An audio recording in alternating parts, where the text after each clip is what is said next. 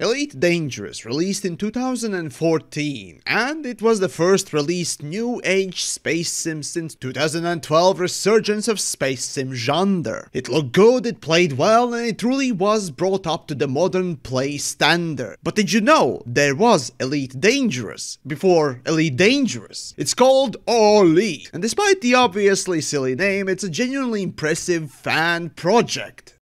Well, hey kids, do you want some drugs? Oh, sorry, I don't have any, but I have something better. Patreon! Yes, that makes videos happen.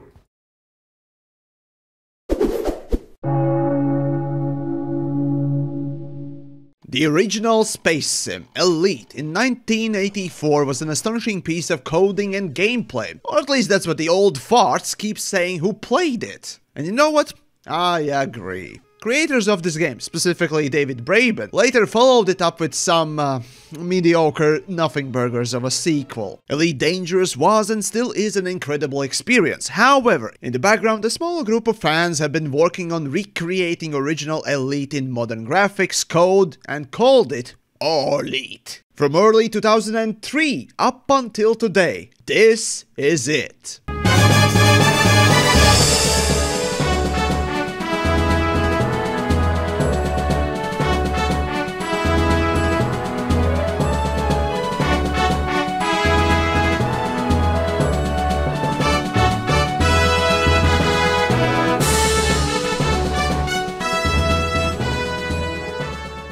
I'm genuinely surprised how close, in some parts at least, it resembles Elite Dangerous, especially for the Cobra 3 and a few other ships as well, while being a near carbon copy of the original Elite 84. Oh boy, alright, so this is all Oolite. Oh boy, um, hmm, music. Okay, play window. Ah, that's a quick switch. Wow. Oh my, what? What? Why? What? the sound effects. Oh no! Just the cutest little sound for a Lazar. Pitch is gonna be up and down. Of course, we're not using the mouse because why the hell would we even do that? Those are those are high quality poly polygons right there. But alright, that's a cobra. No way! So this is the alternative version of a Cobra by by fans. I mean, it is rather close to the actual, you know, legit official Cobra. Not quite, but it's astonishing how close it is. Holy fuck, this action! oh no! This nav beacon actually has better quality, better looks than actual Elite Dangerous nav beacon. Go and kill it. Come on. Oh, I hate this movement so much. Okay, there we go. Wow, it looks similar. Holy fuck, it looks similar. Okay. Oh my god, you actually have to do shift. Oh, I hate this so much. Like, who designed these keys? Like, genuinely, 2004, you already had plenty of games showcasing how not to map a fucking game. Honestly, this looks cool. ah, you've done it, you've docked a degree of success. Let's start the game actually. Normal star. Oh, it did. The tab tutorial didn't cover the literal. Mm-hmm. It didn't cover this uh, starport use. Oh, okay, yeah, right. So basically, the pro big problem with uh, Oolite, if you will, is Elite 84. This is literally a modern recreation of it with the massivest nostalgia glasses on. Now, while I do respect the fuck out of this project overall. I just hate this nostalgia-driven nonsense that shackles you into making and more so propagating shit control schemes and shit UI and the shit gameplay. You can actually see all the ships in... Oh, this is the Fer-de-Lance? No way! Oh, it looks like a piece of shit. Yeah, that, that does not look like anything that I know Mamba to be as. Sidewinder, there we go. Oh, it just looks so close. Okay, this is the adder.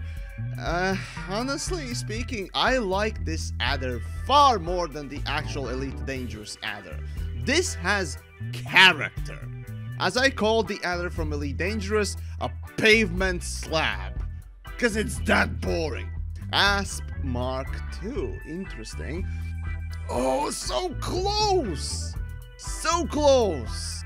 An asteroid base before Elite Dangerous had it. Ah, oh, so cool!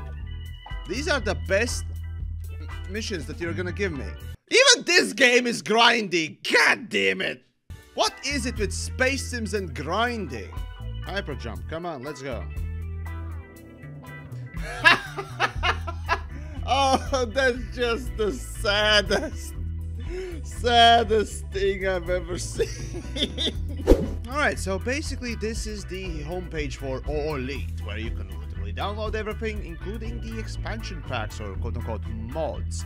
And boy, oh boy, there are a lot of them. Of course, all the versions, so it, you know, is a bit uh, much, but regardless. no, no way. Say what will, this is still better than what, what Oolite has. Oh, dude. I mean, it's still crap, but this is a lot better, please. Oh, yes. This is something that I should have probably introduced in mine. Okay, wow. Ooh, the map. Okay, this is cool. Yeah, uh, if you're gonna play Oolite, also be prepared for not a lot of sound effects. It's astonishing how few sound effects actually exist within Elite. Uh, oh, I mean, sorry, OLEAT. Man, these these mods are so cool. God damn it, Elite Dangerous allow modding. Mm. Okay, I, I have to stop here. But you see what modding can do? Just genuinely expand the game so much further than even the developers themselves could do. Go. The game and source code are freely available under the GNU uh, General Public License. Like, no, no. Yes! Fuck yes! So cool. And that's basically about it on the game. Overall, yes, there are plenty of problems. For example, the yaw control does not exist, it doesn't support mouse apparently, and the menus are absolute travesty. And worst of all, the game is absolutely shackled to the nostalgia. But there is genuinely potentially something cool. And honestly, I believe that if this was actually made into a real game, rather than just a fan recreation project, it could stand next to, well hell, even X4. But for now, that's about it. Do let me know what you think of this sort of a time capsule almost like. And hell, go check it out. I mean, it is for free, open source even.